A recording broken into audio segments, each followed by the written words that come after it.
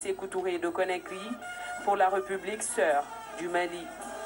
Ce voyage est la première sortie officielle du colonel Mamadi Doumbouya hors des frontières guinéennes depuis le 5 septembre 2021. Cela dénote des fortes relations de fraternité qu'entretiennent les deux pays depuis toujours. Bien avant, le chef suprême des armées guinéennes s'est acquitté du traditionnel cérémonial de départ.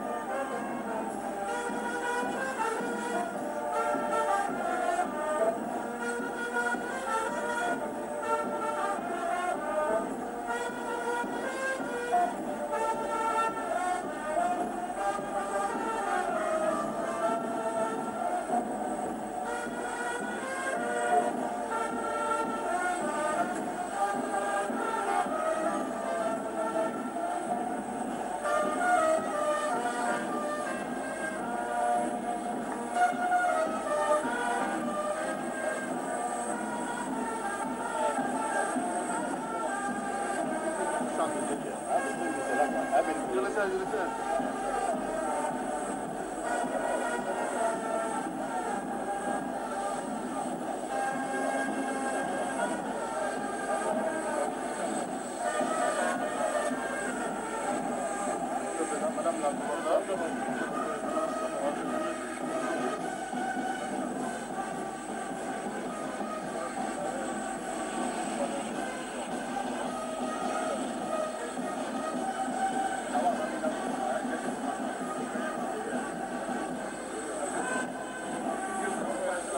Le chef de l'État, en prenant part à la célébration de cette date historique pour le Mali, témoigne encore de sa volonté de renforcer les liens déjà solides qui unissent Conakry et Bamako.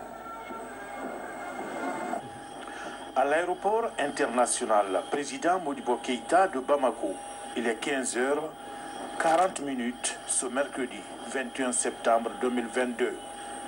Le président de la transition, le colonel Mamadi Doumbouya, est accueilli par son frère d'armes, le colonel Asmi Goïta.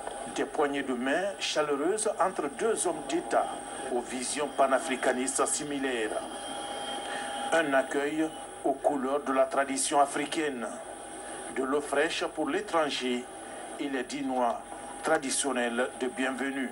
Les chefs d'État du Mali et de la Guinée saluent les couleurs nationales accompagnées de l'exécution des hymnes nationaux.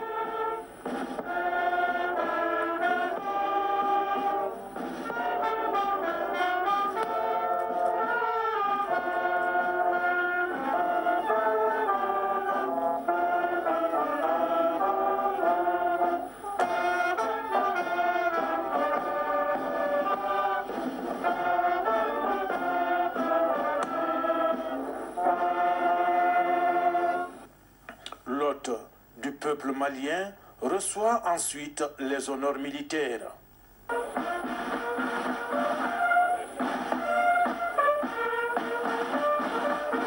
Les membres du CNT, ceux du gouvernement de la transition du Mali, conduits par le Premier ministre par intérim, colonel Abdoulaye Maïga, ainsi que les diplomates accrédités à Bamako, étaient tous là pour souhaiter la bienvenue au colonel Mamadi Doumbouya.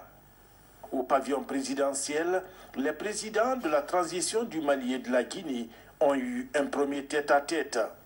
Avant de rejoindre sa résidence, le colonel Mamadi Doumbouya a situé la presse sur l'objet de sa présence à Bamako. Je suis à Bamako à côté de mon frère, le président Simi, pour bien sûr fêter l'indépendance du Mali et accompagner le peuple malien, qui est un peuple frère. Donc euh, pour moi, il est important d'être à Bamako pour fêter l'indépendance du Mali avec mes frères maliens. Le colonel Asmi Goïta a par la suite conduit son hôte au palais présidentiel de Koulouba. En marge de la célébration de la fête de l'indépendance du Mali, les deux hommes d'État passeront en revue les questions de coopération entre Conakry et Bamako, mais surtout le renforcement des liens séculaires entre les peuples des deux pays.